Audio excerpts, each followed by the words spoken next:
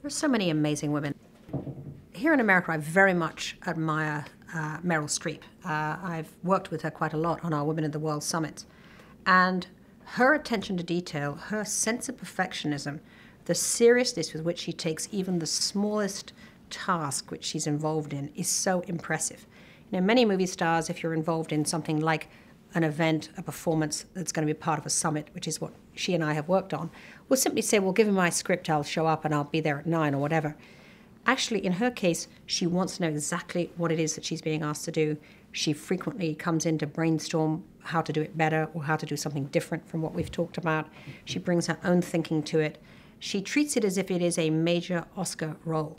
And that's what she brings to everything. Everything she does is careful, is perfectionist, and is done with the same level of excellence, which is really, really impressive. Another great woman who I admire is Dr. Hawa, Dr. Hawa Abdi of Somalia. She's an extraordinary humanitarian figure in Africa. She, she was a doctor, a gynecologist who was treating people. And of course, during the Civil War, um, which is now 20 years raging, she found that a tremendous amount of people needed help and needed a treatment who couldn't afford it or couldn't find it. And so gradually she began to take people and, and see them in, in, a, in a surgery on her farmland. And over the years, she now has 90,000 refugees living on her farmland, farmland. And she's created this kind of matriarchy there where uh, no violence is allowed, no abuse. Her, her farm is a refuge from any of the violence that you see in that civil war.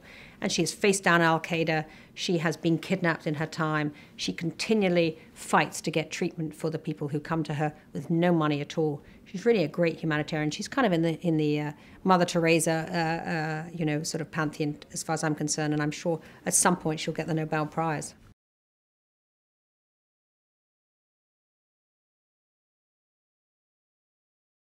Women who do a disservice to other women. Well, I think Miley Cyrus and all of her ilk right now are doing a lousy service to women because they're really just advertising lack of dignity, lack of um, self possession, a kind of gaudy and vulgar way uh, of looking at themselves, which frankly just encourages everyone else to look at them that way too. And it seems to me that women have, have come so far on the one hand, but also at the same time are also allowing themselves to be dialed back by the wrong kind of, uh, of pop culture role models right now.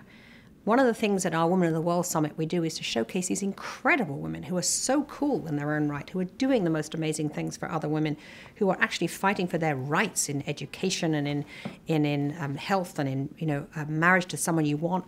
And then you know you see so much in America right now of these role models who are just so dismal that young women really uh, uh, uh are just the wrong women to emulate. And I'm finding I have a 22 year old daughter that she is as willing and, and loves meeting women who are doing really genuinely cool things, which is actually being independent, which is being self dignified, which is being you know glamorous, but at the same time as being um, uh, lacking in, in, in kind of a slutty way of looking at the world that is just so much more appealing. And I think it's a real shame that we don't see more of it.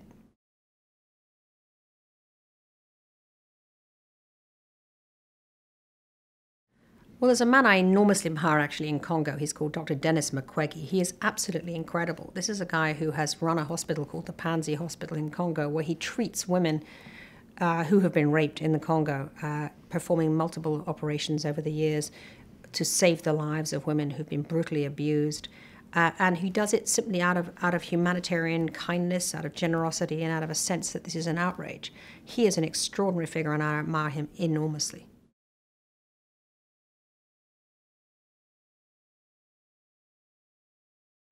Think a man who personified the worst qualities to me was Anthony Weiner um, in the uh, race for mayor who just passed in New York. I mean, exhibitionistly tweeting, uh, you know, his his uh, his sex organs online uh, during the race for mayor, uh, humiliating his amazing wife Huma Abedin, who is just a woman of such you know style and and so beautiful and so supportive.